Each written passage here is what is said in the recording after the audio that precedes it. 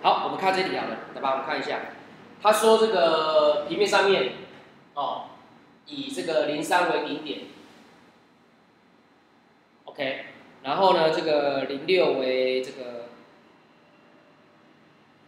焦点的抛物线，那么 AB 是这个抛物线上面的一个点，A 零的话是它的投影，然后呢，它满足这个角 FPQ 等于六十度，请问你那个 B 是多少？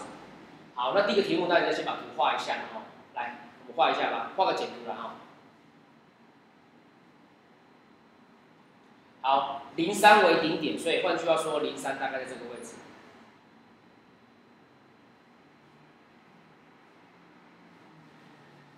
哎，不好意思，我画太快了，知道怎么画太快吗？谁规定它一定要往上？它当然有可能往下，对不对？它那个它的开口当然有可能往上，有可能往下。那之所以我直接看到往上的原因，是因为他说零六为焦点，所以换句话说，六在这个位置，这个是它的那个焦点 F。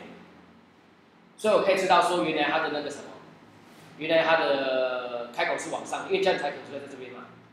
好，所以这里是零六。好，然后呢有个 P 点是 AB。好，那我们假设这里是 P 点，好，P 在这边。呃，看一下，因为题目这样画一下，他说 FPQ，FPQ 是六十度。哎，你觉得在哪边啊？FPQ 看起来好像在那个位置。P 在这个位置比较合理，为什么？因为这样它可能出现 FPQ，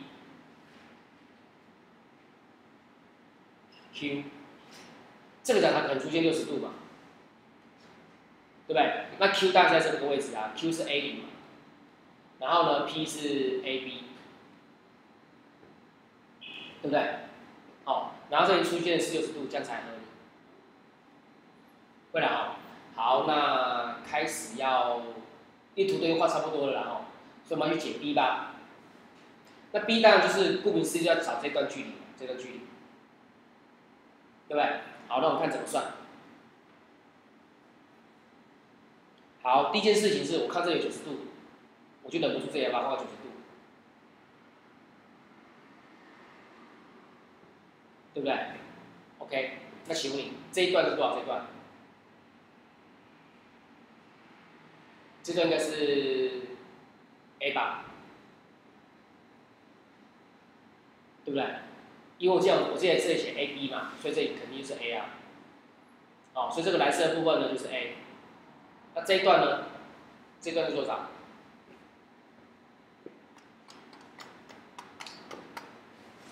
这段，你觉得多少？这段？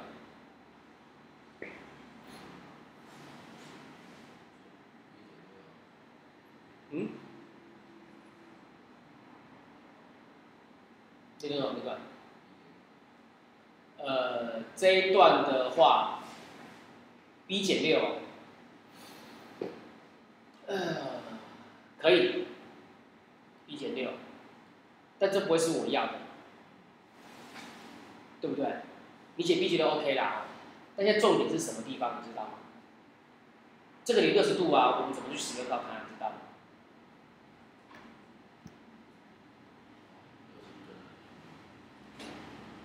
我现在，我还是讲一遍，不好意思，我图画的很丑。为什么讲我我想说我图画的很丑，是因为我的图哦会让你误导，所以呢你要自己想一下。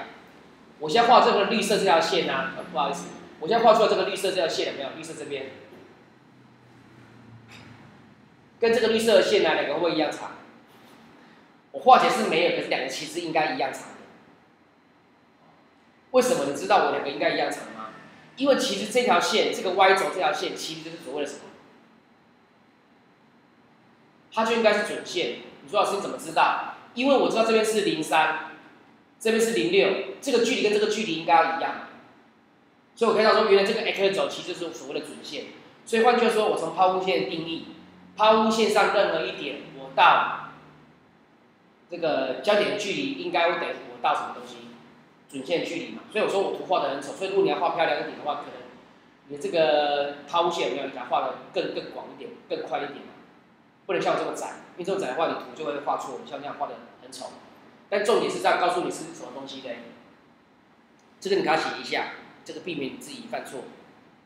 好，第一件事情是要记一下是 P F 应该等于 P Q，哦，因为从定义来看，你应该知道应该是要一样的。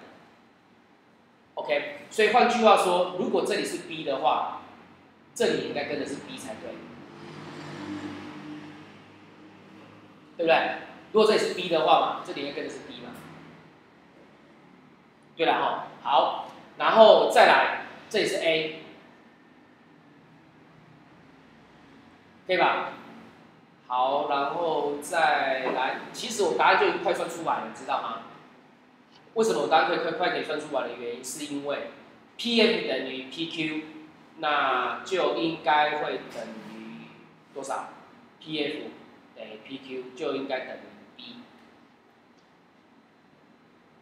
对不对？好，那再来，请问你 B 分之 A 会等于多少？B 分之 A，这里不是六十度吗？所以 B 分之 A 对于我而言是什么东西？斜边分之对边吧？那不是应该等于 sin 六十度吗？那不就等于二分之根号三，对不对？所以我就知道说，哦，原来我的 A 等于多少？A，我的 A 等于二分之根号三 B，会了哈。好，接下来我们很快开始把答案写出来了。第一件事情是，你看一下它开口不是往上吗？你可以告诉我这个抛物线的方程式长什么样子吗？这个抛物线方程式是不是应该等于 x 减掉，因为顶点是零三嘛，所以应该是 x 减掉零的平方等于四 c 的 y 减掉三，c 是多少你知道吗？c，c 应该是三，哎，c 应该是三吧？因为我知道他们的那个距离，顶点到这个焦点的距离就是我们那个 c，所以应该等于三，所以整个整理一下应该是 x 平方等于十二倍的 y 减三，对不对？那你就把 a b 带进来进去就就可以了，a b 带进来，好，x 带 a，y 带 b，好，所以原本是 a 平方等于十二倍的 b 减三，但现在告诉你的啊，a 不是等于二分之根号三 b 吗？把换句过去就好了，所以变成了四分之三 b 平方会等于十二 b 减掉三，这样会了哦。所以整理一下就变成了 b 平方会等于十六 b 减掉四十八。好，所以呢，对吧？这个一看看起来应该是要用那个所谓的。十字教程吗？还是用公式配方法？看起来是用